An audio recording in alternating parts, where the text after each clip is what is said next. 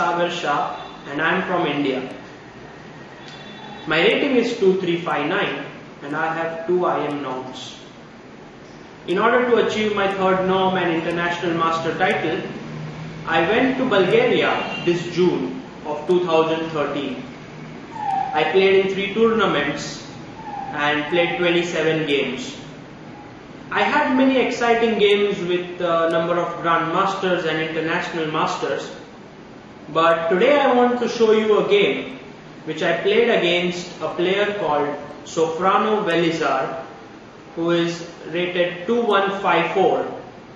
Now the reason why I chose this game is because there are a lot of instructive points in this game which I hope I can be able to convey to you by showing you this game. I hope that you will learn a lot from this game and also enjoy this video. Let's go over to the game. So let us begin with the game. c4, knight f6, knight f3, g6, g3, bg7, bg2, castles, castles, d6, d4. By a transposition of moves, we have entered the main variation of fianchetto King's Indian. My opponent continued with knight bd7, knight c3, e5 and here I played e4. The main thing in the fianchetto variation is that when you develop the bishop on g2 it gives added protection to the e4 pawn which is the reason why white can maintain the flexibility in the center and he does not have to push with d5. Once this flexibility is maintained in the center Black can no longer launch his typical kingside attack with moves like knight h5 and f5 because the center is still very fluid. It will allow white to open up the center. Hence, in the fianchetto variation, black attacks are not very frequent. However, what black does aim is to attack white's center. We will see how black achieves that in the game. My opponent played rook e8. In a way, he is now aiming against the e4 pawn. I now played h3. My idea is that I will put my bishop to e3 so that he cannot disturb me with ng4. He took on d4, knight takes d4 and knight c5. You can see how three of black pieces are attacking the e4 pawn. Now, it's my question to you, how will you defend the e4 pawn? Yes, over here, I think the only good way to defend the e4 pawn is rook e1. Of course, you can defend it with moves like f3, but of course, that's not a good move. On the other hand, the very desirable queen c2 fails to, yes, knight takes e4, knight takes e4 and the d4 knight is loose which can be picked up. Hence I played rook e1. He continued with c6 and over here I quickly played queen c2. of course to make this move you need to know the opening theory and I was well versed with it. The main point is that now I defend the e4 pawn and my next move is bishop e3 bringing the other rook to d1 the question which I want to ask you now is that is this move queen c2 a mistake does it hang the e4 pawn and so have a think and tell me what would you play if your opponent took this pawn? Yes taking this pawn is a big mistake from black side. Because I will just take knight takes e4 and you definitely cannot play knight e4 because after rook into e4 I'm just a piece up. I defend my d4 knight. So you will have to play over here. Bishop into d4 when white has a very strong move bishop g5 connecting his rooks and threatening knight f6 so if the queen goes to c7 or b6 or a5 I have this very strong move knight f6 check winning the rook on e8 on the other hand a move like f6 will lose to the strong move bishop into f6 and after bishop takes f6 which is the only move knight f6 queen f6 rook e8 and I am an exchange up. Hence the only move for black here would be queen d7 when after knight f6 check bishop into f6 bishop into f6 you can see that this strong bishop will lead to a mate pretty soon as maybe white queen will just come this side and black is very close to winning this uh, white is very close to winning this position. Okay. So the e4 pawn cannot be taken. My opponent was not well versed with theory so he had a long think over here. But I think he understood that taking the e4 pawn is dangerous and so he continued with the normal move a5 now this move is starting plan for black of queenside play. Black would like to put his pawn on a4 put the queen to a5 knight maybe goes from d7 to b6 and then he starts creating dangerous counterplay with his knight on c5 queen on a5 the strong bishop on g7 okay but white on the other hand will try to play on the king side. So I continued my development normally with bishop e3 and black played a4 I brought in my rook to d1 of course I have a small tactical threat now. And that is if it were my move now I would take on c6 b takes c6 and bishop into c5 when this pin will prove decisive. Okay so my opponent removed his queen from the d8 square and played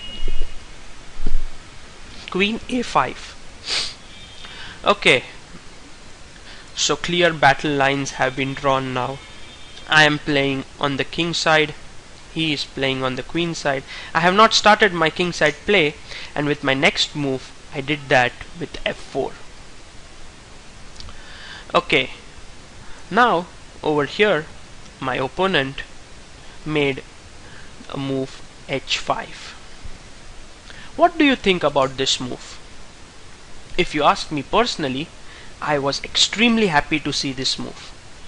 Now why would that be? There is a general saying in chess that never move the pawns on the side of the board where you are weak. In this position, you can see black is clearly weaker on the king side. Hence every pawn move that he makes on the king side will help white to create targets. Now this move h5 does stop g4 for the time being but makes the g6 pawn pretty weak. So later on if I can go f5 it might create a lot of problems for black. So always remember don't if it is possible don't move the pawns on the side of the board where you are weaker. Okay so to h5 I played bishop f2 now this move can be explained as I want to defend the e pawn and I want to move my knight to f3 because I have new squares available on g5 or maybe h4 because the g6 pawn is weak. So before that I need to defend the e4 pawn because when the knight goes to f3 the g2 bishop will no longer defend the e4 pawn. So I just moved my bishop back. Okay. Over here he continued knight d7. Now my question is I played should I play over here knight f3 and what is the problem with that move yes the problem with knight f3 is that black would play a3 an excellent move because after a3 I cannot take this pawn because of the combined effect of the queen and bishop on the c3 knight and my queen side is in total ruins. Black will be better over here.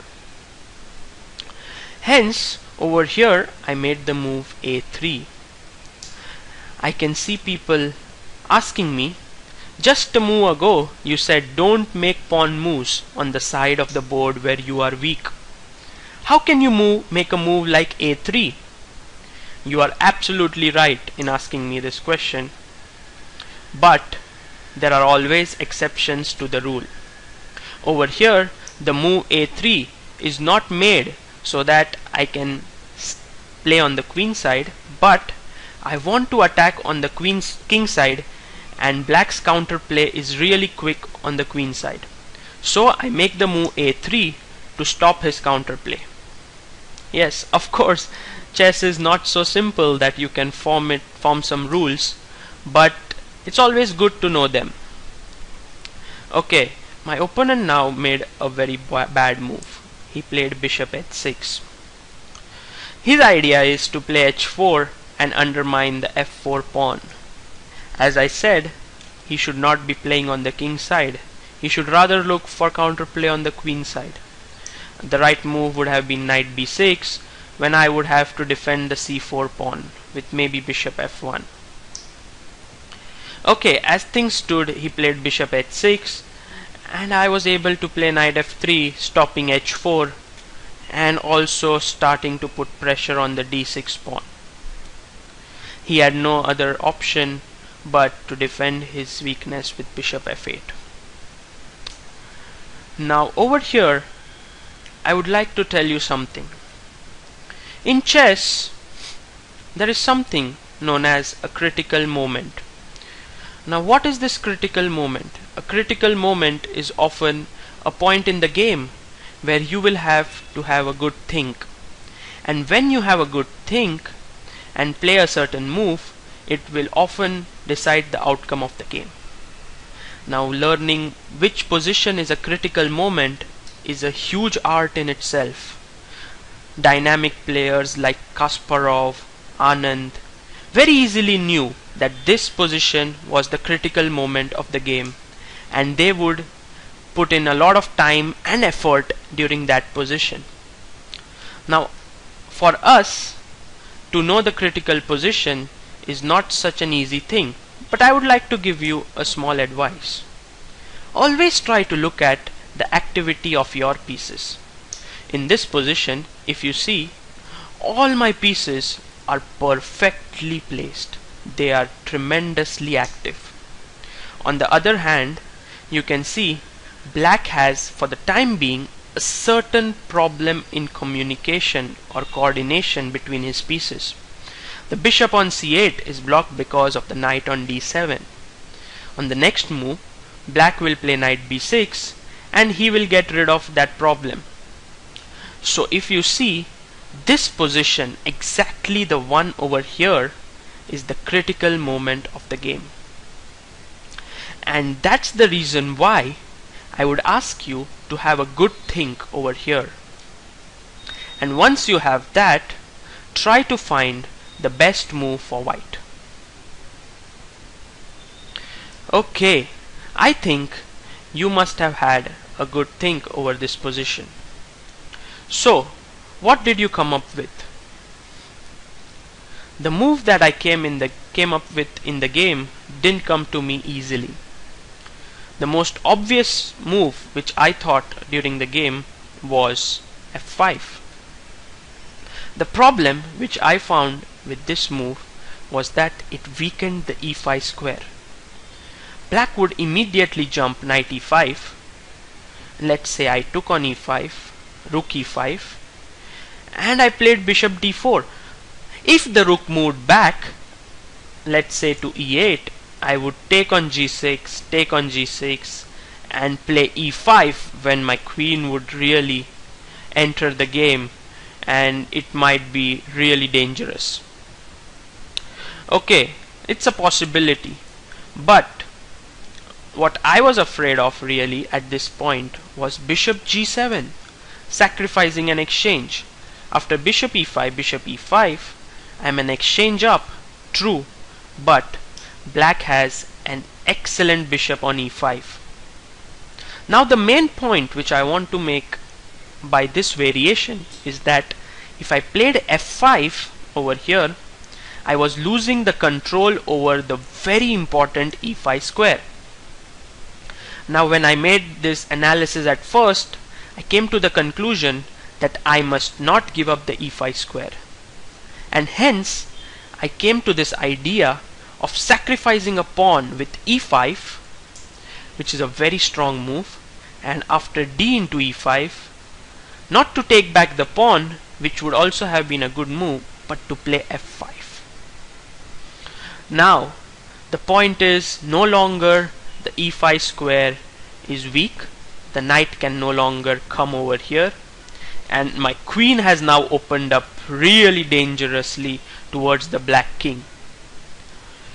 My opponent now could see actually no real way to play in this position than to defend the g6 pawn and he defended it with king g7 now the first part of the problem is done now I ask you the next question. How would you continue the attack? Would you now play f into g6 or would you play maybe knight h4 during the game I had a big choice to make. If I took f into g6, he would take back and if I played knight h4 attacking the g6 pawn, he got the e6 square for his rook to defend the g6 pawn. This position is still pleasant for white, he has good attacking chances, but I think it's not so clear. During the game, I decided to deprive him of the e6 square and played knight h4. Now the g6 pawn is attacked. He has no way to defend it. The only move that he can make is to play g5. Of course, I had considered this move and over here I had a surprise, another surprise waiting for him. Of course, it doesn't matter if you have given up a pawn or two pawns in an attack, the main thing is that your pieces must get into the critical zone. The critical zone I think is this place. If your pieces can enter that, that zone, you will be bet you will get a successful attack. And hence I played f6 clearing the way for my knight. I think the only move now is to take this pawn with knight into f6 and I jumped in with knight f5. The point being that he cannot take this knight because I take back with the queen and all these pawns are really weak if you see. And I will be able to checkmate him not very not with much effort. So he had to go back. He played king g8 and now I think is the main point of my play. I played now knight d6. The main point that I am trying to make here is that black has two good bishops in his position. One bishop is controlling all the light squares. The other bishop is controlling all the dark squares. With this move knight d6, I ask him, do you want to take on d6 and weaken your dark squares? because once the rook enters on d6 I think his king is really exposed my queen will go to d2 start putting pressure on g5 and he will have a very hard time. On the other hand if he does not take on d6 I will take on c8 because his rook is attacked. So if suppose he moves his rook let's say to d8 over here I might take on c8 rook c8 and get in queen f5 when he will be terribly weak on the light squares in the position. So though I'm two pawns down I have this great compensation of weak square complexes. You can see weak color complexes in the position. My opponent was pretty smart. He said, I'm not going to give you any weak colors in my position. I and he instead played bishop d7, giving up an exchange in order to secure his light and dark squares. Okay, I said at least let's take the exchange. I took on e8. Rook takes e8. And after this, I am now materially pretty fine. I need to find the next move.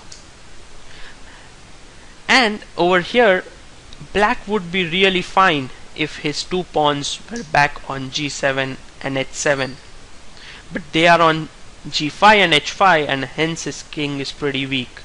So I played this next move queen d2 trying to attack the g5 pawn.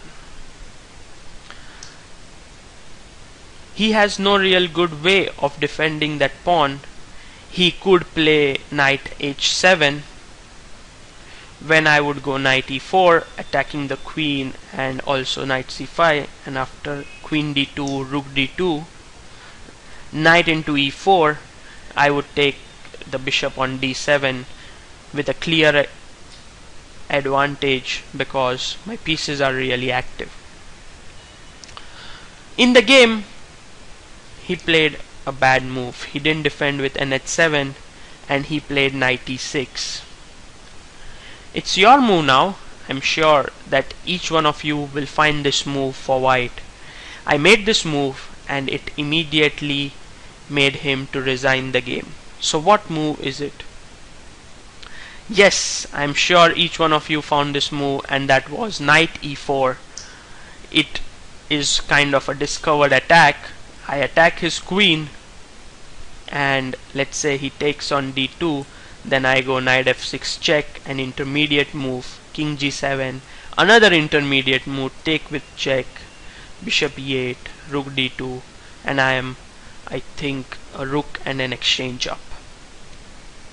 So in this position of course he could have defended better he made a bad move 96 and after 94 he had to resign the game. If I were to ask you what was the best move in the game that you saw right now, it was without doubt the idea of playing e5, d into e5 followed by f5. Now the question that you would ask me is, is it possible to find such ideas over the board? And my answer to that would be, it's extremely difficult. But I would like to tell you a small secret. The idea which I used in this game was seen by me when I was 16 years old, that is 7 years ago, when I was reading a book called Can You Be a Positional Chess Genius by Angus Dunnington, a book which I would highly recommend. In that book, I saw a position of Botvinnik and in that game, Botvinnik used exactly the same idea. Let's have a look at that position and try to see how the con contours of both the position match each other. The following is a snippet out of the game Botvinnik versus Pomar from 1962 Olympiad. Uh, in this position, it is white to play and uh, I would like you to think for two minutes and try to think of what white played over here. In this game, Botvinnik, in this position, Botvinnik would like to play f5. Now, this move is, is an attacking move, but the point is that it opens up this bishop. The bishop on d6 becomes an excellent piece. The knight on c6 gets a wonderful square on e5. My bishop on g2 on the other hand becomes quite a dead piece, whereas knight on d2 has no good square. So you see f5 is a positional blunder. Now The move that Botvinnik made in the game was e5. With this move, first of all, Botvinnik is sacrificing a pawn and after Pomar took it f into e5, Botvinnik pushed ahead with f5. Now Pomar saved his bishop with bishop f7 and Botvinnik jumped in knight e4. Now you can see the benefits of the sacrifice of a pawn. First of all, the pawn has moved to f5 but the dark squared bishop on d6 has become a dead piece. The black knight no longer has a good square on e5 and our bishop on g2 is breathing fire in the position and the knight on e4 is a really great piece. Thus you can see the idea which I used in my game is pretty similar to the one that Botvinnik used in the game. He wanted to push his pawn to f5 however he didn't want to give e5 square as an outpost and hence he sacrificed a pawn and brought a black pawn on that square.